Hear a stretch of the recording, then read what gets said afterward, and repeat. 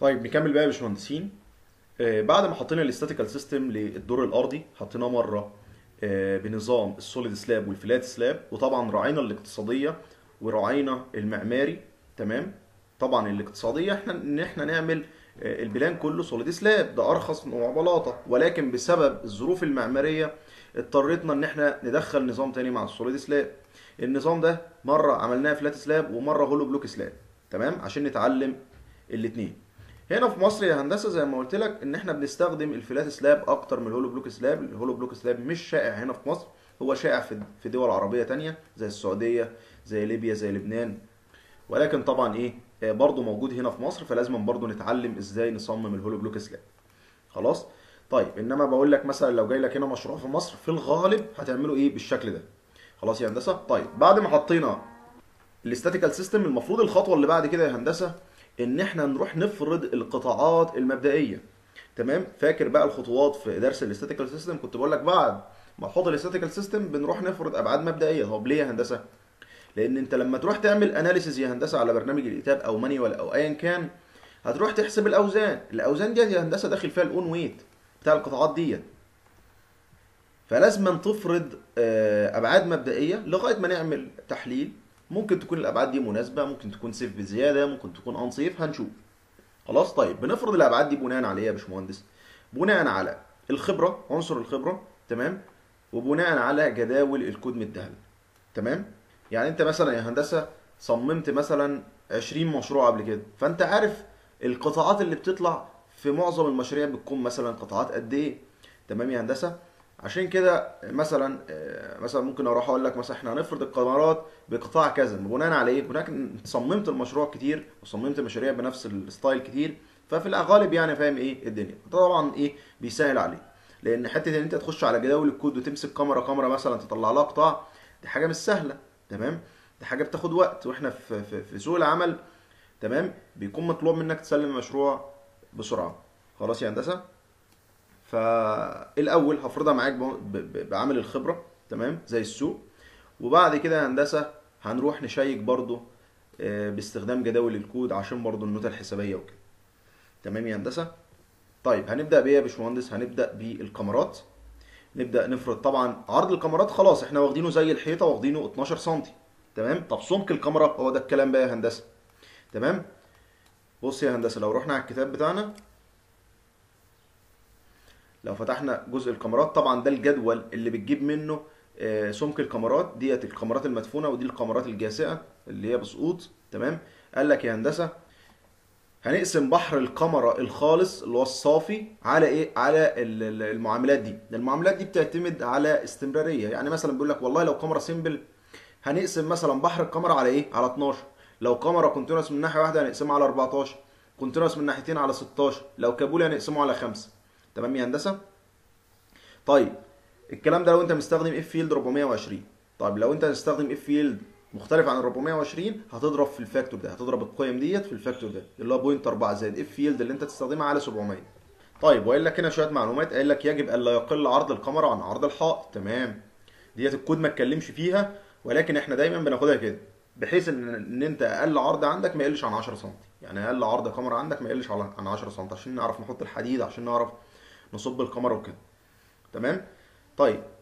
يجب الا يقل سمك الكاميرا عن 50 سم يعني مثلا رحت طبقت مثلا معاملات الكود لقيت كاميرا مثلا جالك 40 سم كاميرا 30 سم خلي بالك معاملات الكود ديت ما بتجيبش أرقام كبيرة يعني بتجيب أرقام قليلة. فأنت المينيمم دايما يا هندسة 50 سم تمام؟ وعمليا 60 كمان. تمام؟ بس 50 ش- ماشي يعني ماشي يعني كاميرا آه، شغال. بنشوف كاميرات بتعمل 50 أنا شخصيا مش بصمم الكاميرا بسمك 50 أنا بالنسبة لي أقل حاجة 60 تمام؟ طيب الكاميرات المدفونة بقى نبقى نتكلم عليها بعدين. نرجع كده هندسة المشروع بتاعنا. يبقى هندسة خلاص أنا هفرض الكاميرات مثلا بتاعتي وليكن 12 في 60 تمام؟ هنا في مصر بنحب نفرضها 12 في 70 تمام تمام؟ ليه 70 يا هندسة؟ لأن دلوقتي مثلا لو إحنا عندنا أدي الدور مثلا أهوت الدور كده بيكون ارتفاعه 3 متر. تمام؟ معظم المنشآت بيكون ارتفاع الدور 3 متر. خلاص؟ طيب ارتفاع الباب يا هندسة ارتفاع الباب بيكون 32 ارتفاع الأبواب عندنا بيكون 32 فبيكون اتبقى قد إيه؟ من السقف 70 سم تمام؟ فبنفرض الكاميرا 70 سم عشان إيه؟ عشان ما نروحش نعمل عتب. فخلاص الكاميرا إيه؟ تكون هي إيه؟ إيه يعني عصفورين بحجر بمعنى أصح. كذلك الشبابيك. يكون مثلا هنا عندك باب عندك هنا شباك برضو بالشكل ده. فالكاميرا تكون هي إيه؟ كاميرا وفي نفس الوقت إيه؟ عاملين عتب للباب والشباك خلاص يا هندسة. آه، أنا بقول لك ده عمليا في مصر بي بي بيتم بالطريقة ديت يعني. تمام؟ فإحنا هنفرض الكاميرات يا هندسة 12 في 70 طيب في عندنا كاميرا هنا 25 يبقى 25 دي هتبقى 25 في 70 تمام يا هندسة؟ طيب آه، ده مبدئيا وبعد كده هنروح نشيك على جداول الكود في الآخر كده على كام كاميرا يعني كام كاميرا كبيرة كده عشان مثلا ال- بتاع اللي بيراجع مثلا وراك في المجمعه العشرية أو كده آه، لو مثلا شك في الكاميرا دي كاميرا طويلة مثلا عايز يشوف سمكها وفقا للكود إيه تكون إيه تكون موجودة في ال note تمام؟ طيب. بالنسبة بقى لل... للكمرات أنا أقول لك على حاجة بقى. خلاص أنت فرضتها ممكن انت خلاص تحطها في دماغك ولما تروح تطبق الكتاب أنت عارف.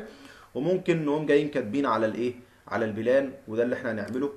طيب بتكتب على ال plan إزاي يا باشمهندس؟ لو جينا مثلا لجزء الكمرات. بص يا هندسة في طريقتين. في طريقتين لكتابة آه، الكاميرا على البلان. إما أنت تكتب الكاميرا بقطاعها هوريك إزاي. لو جينا مثلا المشروع ده.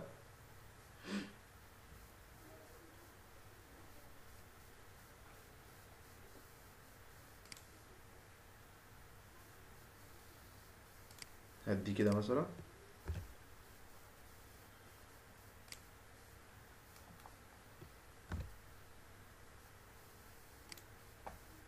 بالشكل ده خلاص مش عايزين ده تاني. ولا سيبه نشرح عليه.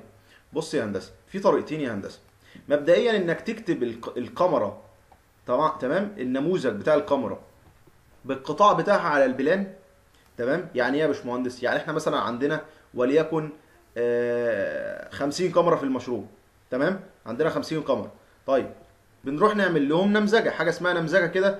نقول والله ديت هتاخد كاف اتنين دي هتاخد كاف واحد تمام؟ كاف واحد ديت يا هندسة لو جينا نبص مثلا هنا كاف واحد مثلا 2 12 كاف اتنين 4 12 تمام؟ كاف 3 2 12 و2 16 كاف 4 4 إيه؟ 16 تمام؟ طيب هتلاقي هتلاحظ يا هندسة إن الجدول ده مش موجود في قطاع. معنى كده ان النموذج ده خاص بالتسليح فقط. يعني لو جينا هنا يا باشمهندس هتلاقي هنا آه بيقول لك القطاع ده 12 في 70 يعني القطاع بيكون مكتوب على ال plan تمام؟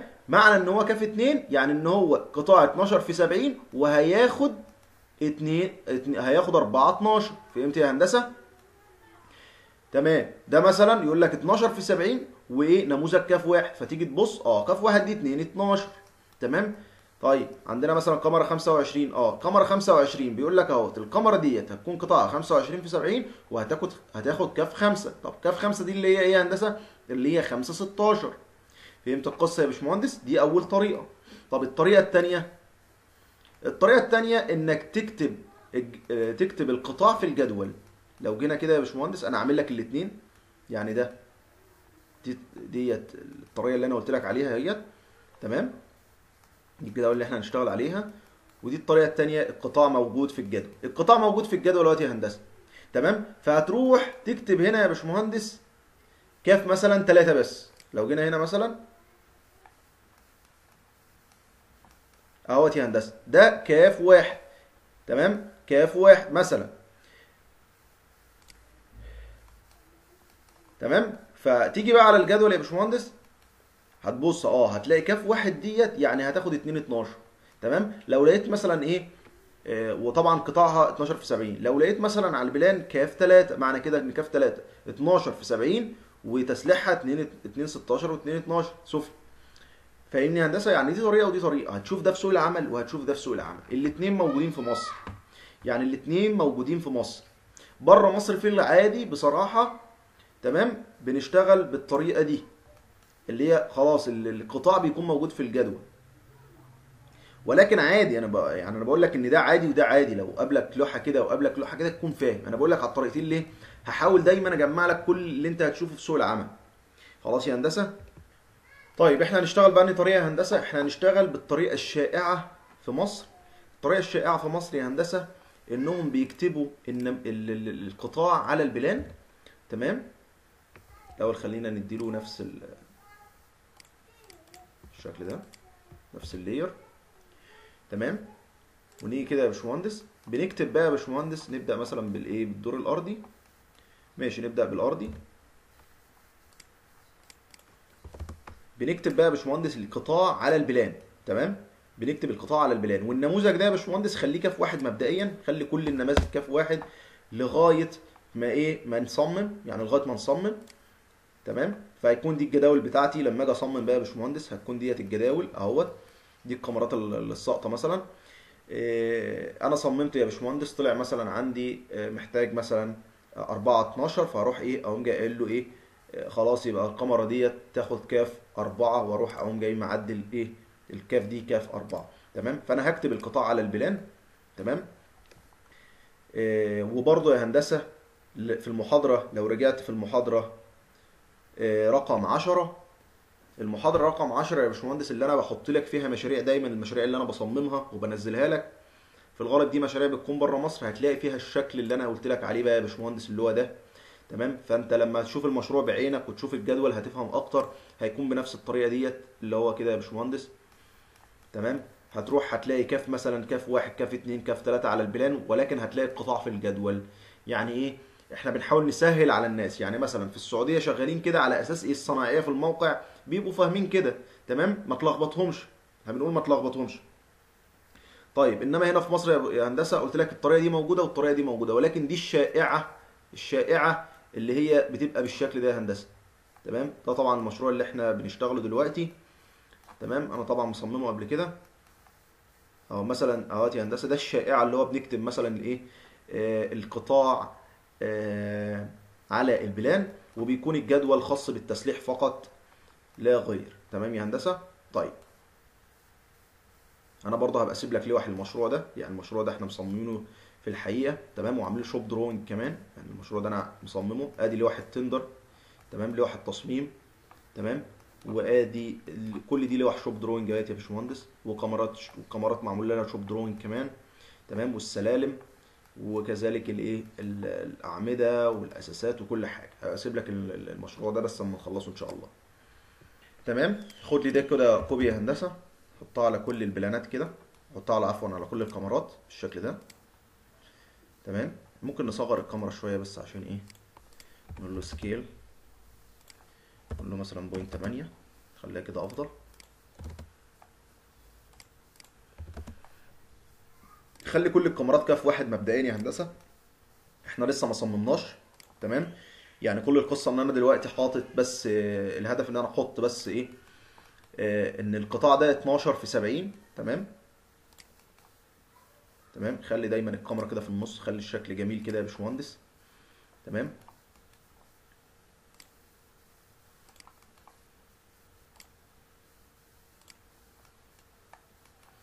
الكاميرات الخارجية خلي الكاميرا ال- ال- ال- بتاعها القطاع بتاعها بره مش جوه. تمام؟ في هنا شباك أهو تشيله. تمام؟ طبعا الكاميرا دي هتكون مكسرة مع السلم. تمام؟ فحط لها كده يا باشمهندس إيه؟ طبعا إحنا بصين لها من من تحت لفوق تمام؟ فهنشوف هنا كسرة كده بالشكل ده تمام؟ بعد كده خد ده copy كده ولفه قول له rotate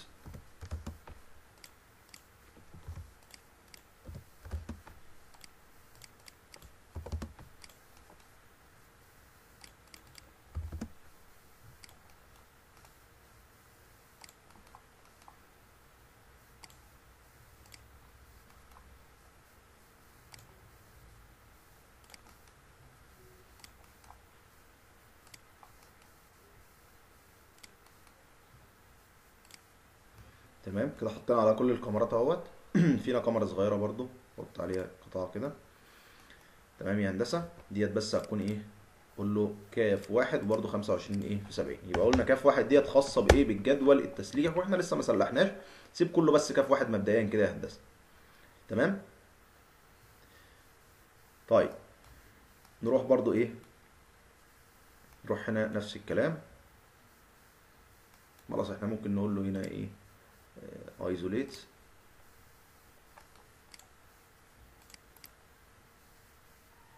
copy selection من هنا كده لأن هو هو مع اختلافات بسيطة يعني.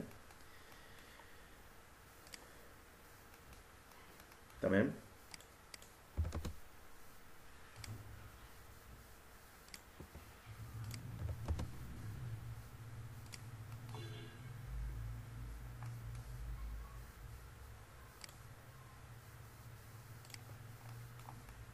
تمام الكاميرات ديت هتكون خمسة وعشرين.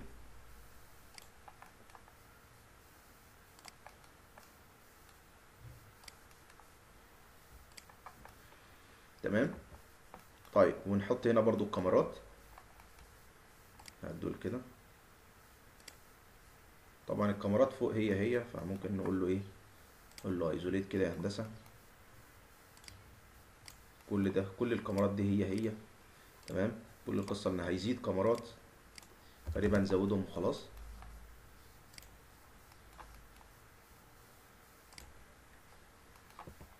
تمام؟ طيب ممكن نعمل حركة لذيذة برضو.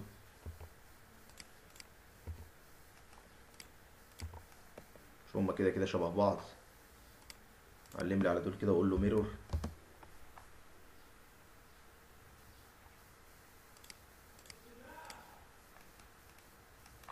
كده الميرور ما تظبطش طيب تاني كده.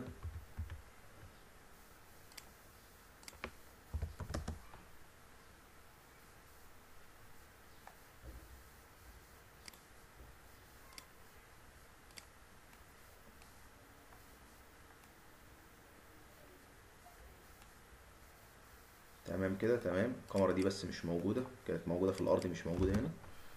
تمام شيك كده إن الدنيا مظبوطة هنا عايزين هنا كاميرا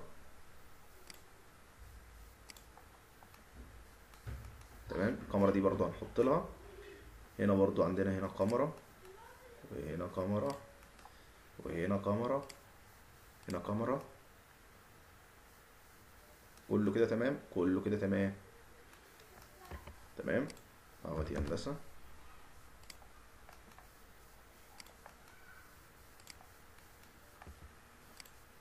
خلاص كده مظبوط يا هندسة. كله تمام يا هندسة.